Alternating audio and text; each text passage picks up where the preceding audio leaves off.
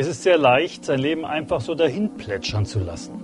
Einfach so dahin zu leben und jeden Tag, jede Woche, jedes Jahr so das Gleiche zu, zu machen. Und es kommt, wie es kommt, es ergibt sich irgendwie, die Dinge geschehen und wir lassen es einfach so über uns ergehen. Es ist wie, als ob ein Autopilot in unserem Leben die Steuerung übernommen hätte. Wir sitzen hinten und mal gucken, wo es hinführt, das Leben. Weißt du, ich glaube nicht, dass das wirklich das ist, was Gott für uns als seine Kinder vorbereitet hat. Ich glaube, unser Leben hat eine Absicht, hat ein Ziel, hat eine Bestimmung. Du hast auf deinem Leben einen Ruf und du bist wichtig für den Bau des Reiches Gottes. Gott hat dich berufen als ein Kind in den Dienst, um anderen Menschen zu helfen, um für andere Menschen ein Segen zu sein. Du wurdest gesegnet, um andere segnen zu können. Und ich bin sicher, jeder von uns hat Bereiche, wo er andere Menschen segnen kann, wo er sie aufbauen kann, ermutigen kann, äh, helfen kann, erfrischen kann und so weiter und so weiter. Wenn wir einfach so von den Dingen unseres Alltags umhergetrieben werden, ja, so ohne Bestimmung und Absicht einfach so unser Leben dahin leben, dann leben wir eigentlich so, wie die Bibel es für die Nicht-Christen bezeichnet.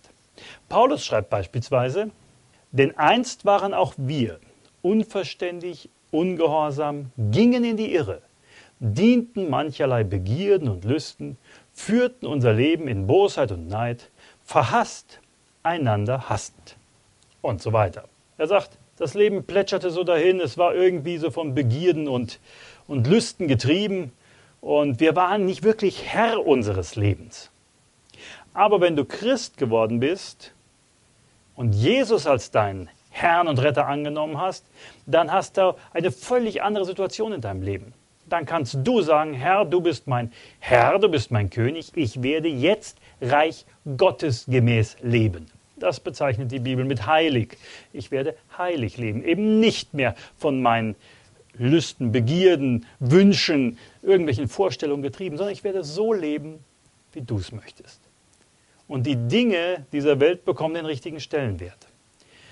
Falls dich das betrifft, möchte ich dich einfach einladen, diesen Autopilot-Status auszuschalten und zu sagen, mit der Hilfe des Herrn werde ich mein Leben selbst in die Hand nehmen, mich selber an das Steuer setzen und werde dahin fliegen, dahin segeln, dahin fahren, wo der Herr mich haben will und nicht, wo mich irgendwelche Zufälle hinbringen. Ich werde bewusst und zielgerichtet den Ruf ernst nehmen, den er auf mein Leben gegeben hat und hineingehen in das, was er für mich vorgesehen hat. Das geschieht nicht automatisch. Nur dadurch, dass du einen Ruf auf deinem Leben hast, heißt das nicht, dass der Herr für dich die Steuerung übernimmt. Nein, du musst anfangen, in die richtige Richtung zu steuern und auf diesen Ruf, auf dieses Ziel, auf diese Vision loszugehen. Und dann bin ich ganz gewiss, dass Gott mehr für dich hat.